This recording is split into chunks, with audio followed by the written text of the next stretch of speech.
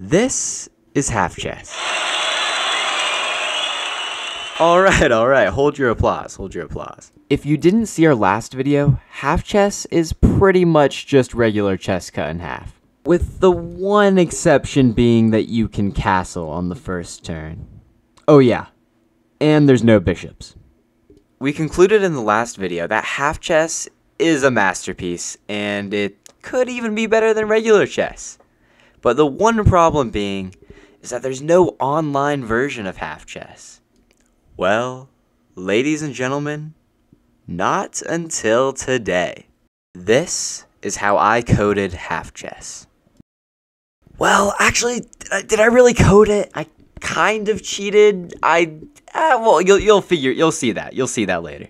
I started this journey with pretty much no coding knowledge whatsoever. I was like a blind man in an empty room, just feeling around for whatever I could grasp onto. And so the first thing I did was look up how do you even code regular chess? I actually have no idea. I tried figuring out how to code chess in Python and maybe even JavaScript, but at the end of the day, all the stuff I found, I had no idea what it meant. I had no clue how to decipher it. So I did what so many people in my generation would do. I turned to ChatGPT. And this is what it gave me.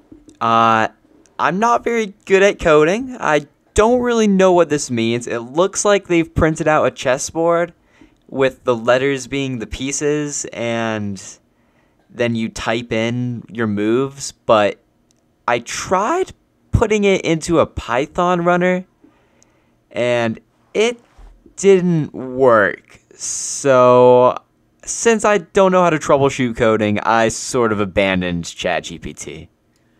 And with ChatGPT not being possible to use, I sort of felt hopeless. I abandoned the idea that I would even be able to make this video. But that's when I had an idea.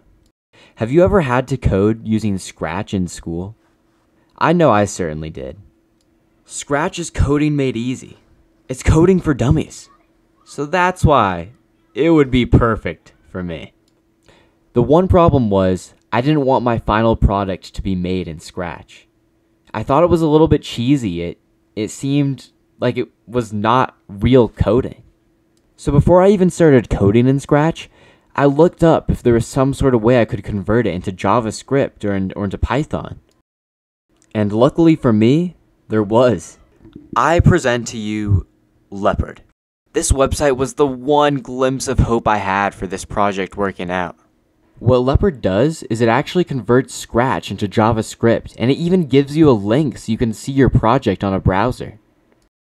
This was all well and good, but I actually had to code chess in Scratch. And I had no idea how to do that. So instead of actually coding anything, I just drew all the sprites that were needed for the game. Here are a few of the white pieces that I drew, and then here is the board. Pretty simple stuff. But then I had to get into the actual coding part. Now, coding with Scratch isn't exactly as difficult as it looks on screen. It's actually a little bit more like this. Now, block coding is a lot easier than coding in a real programming language, but still, there were a few obstacles I had to overcome. The most difficult challenge I had while making this game was trying to figure out how I wanted the pieces to move. My first idea was to use this code, that when a sprite was clicked, it would become draggable. That seemed pretty simple, at least to me. But when I tried converting it into JavaScript, it just didn't work. Apparently Leopard isn't even able to use the draggable command, so I had to come up with an alternative. Since I just assumed that the mouse would never be able to work since the draggable command wasn't accessible, I decided to switch to the keyboard. I set this code up so that when you hovered over a piece and you pressed either W, A, S, or D, it would move the piece in that direction, but only by one square. This is what the first version of the game looked like. As you can see, it's a little bit awkward to use and the pieces get overlapped in a really strange way that just doesn't feel natural. I could have stopped here, but I wanted to keep coding. I wanted to make a game that felt just a little bit better to play. I thought that dragging your pieces felt the most natural, and I wanted to recreate that. But without the draggable command, I... I mean, it, it was going to be difficult. So, I made my own draggable command.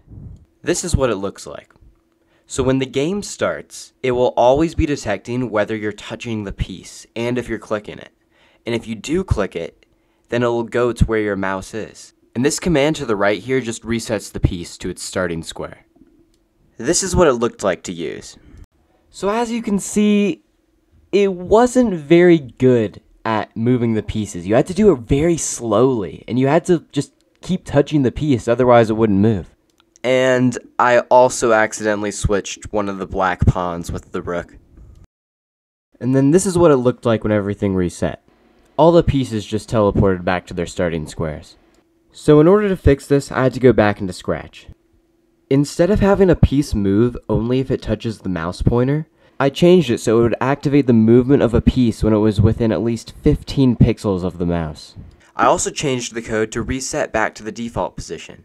So instead of teleporting the pieces instantly to their starting square, they would now slowly glide there in a very satisfying way. It looked like this. Oh, as you can see, very satisfying. And it was also a little bit easier to move the pieces too. I was much happier with this version of Half Chess. So that's pretty much the game. As you can see, you kind of have to follow the rules yourself, it would have been very difficult to code valid moves for each piece. And I figured since over the board works, this would work exactly the same. One problem with this final product is that you cannot overlap pieces. If you do overlap pieces, you'll have to reset the entire game to get them unstuck. So yes, it is a little bit of a problem, but it is still playable, and it's not that difficult to not overlap the pieces. If you want to play this version of Half Chess, the link is bit.ly slash half underscore chess. I will also link half chess down in the description. And hey, thank you for watching. I really liked making this video, and I hope you liked watching it. If this video gets a good amount of views, I'll try and revise this version of half chess to make it even better for you. And with that, I'm out. So looking back on this, I just realized I pretty much coded a slideshow that you can reset. So, take that as you will. Uh, anyway, see ya.